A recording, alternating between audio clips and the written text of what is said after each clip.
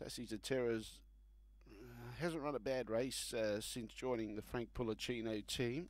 It'll be interesting to see whether Gaita has a crack and uses her gate speed or not.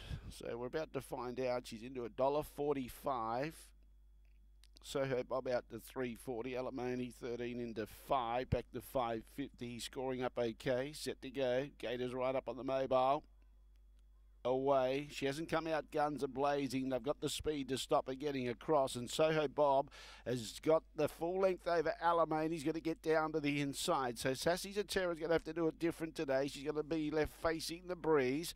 Alimonie sits behind Soho Bob. Gaita grabs hold. Sassy doesn't like it. She throws her head up at the air. She is a bit difficult to steer in a field sometimes. But now she's got her under control facing the breeze about five metres behind Soho Bob. Lead time shows 12. 12 seconds. If that time's right, that's pretty quick. Now, lobbing one out, one back was our mate Mick as they make their way down the back straight. Then in turn behind those on the inside was dashing through the fire. Settles down three back the inside, and they really drop anchor here. Danny's starting to walk with this leader. Back behind those in second last placing was Franco Enzo and Georgie Mae. She's at the tail end of the field. First quarter 31, second quarter looks like it'll be slower. And Soho Bob's got the lead. Sassy's a terror, she's outside the leader, facing the breeze. Uh, 31 confirmed as at first quarter. Alimonie on the inside follows the leader. Behind those in the 1 1 was our mate Mick. Then dashing through the fire on the inside of Franco Enzo.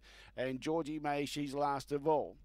Around the bend, past the half mile they go. Second quarter appears. It is slower. 31 6, 62 6 for the first half. So Danny's able to rate the leader if she likes, but now Gaita goes up to the girth with Sassy's a terror. Now they start to lift the tempo. 600 metres to travel. Soho Bob by a long neck to a metre. Sassy's a terror on the outside and goes up quickly and level pegs with Soho Bob. Alimonie angles off to follow Sassy's a terror.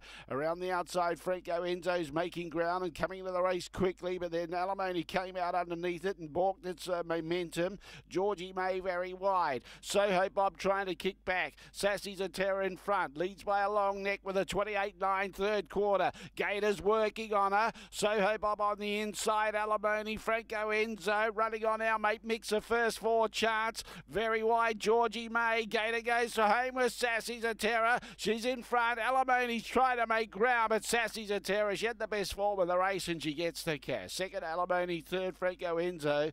Fourth behind those was our mate Mick, then Georgie Mae. So Bob got very tired. He just hasn't come back this preparation and dashing through the fire at the tail end of the field.